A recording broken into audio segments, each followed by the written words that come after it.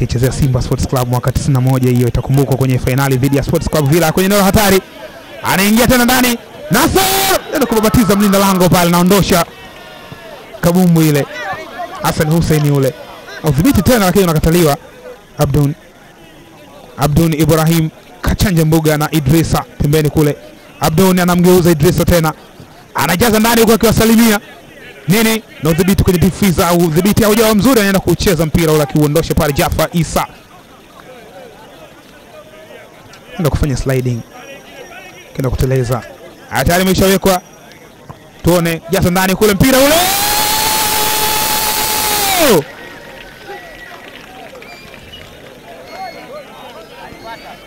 wanaandika bao la kuongoza Azania Group Football Club.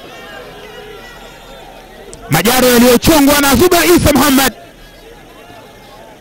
akitokea upande wa kushoto,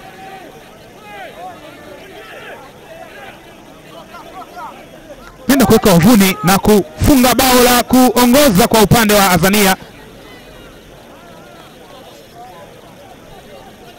Saidi Mbaruku huyo ambaye ametokea bench akienda kuandika bao la kwanza kwa upande wa Azania Group Football Club.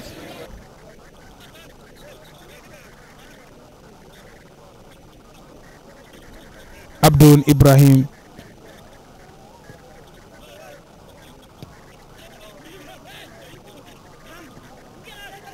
Wanapoteza umiliki wa kabumbu, anaondoka kwa haraka, anaingia tena ndani kwenye nafasi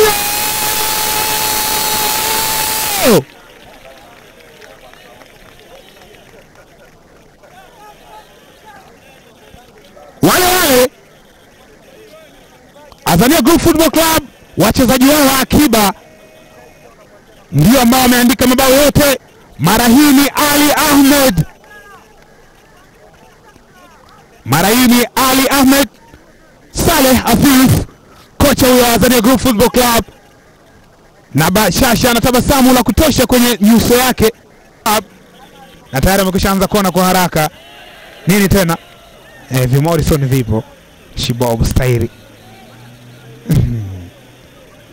Ipiga watu kunako ligi kuu ya kandanda Tanzania bara, lakini hata hapo pia wanavipata vitu vizuri.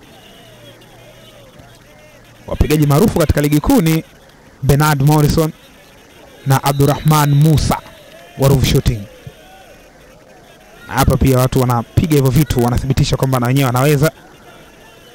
Ramadhan Shaban mlinda lango,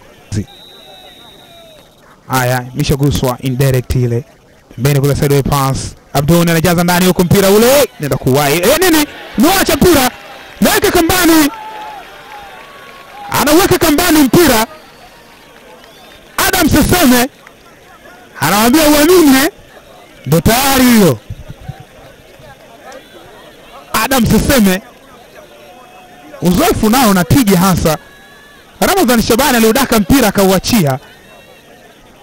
Adam Seseme alinusa akaenda kuhakikisha mpaka hatua ya mwisho na akaondoka na mfupa.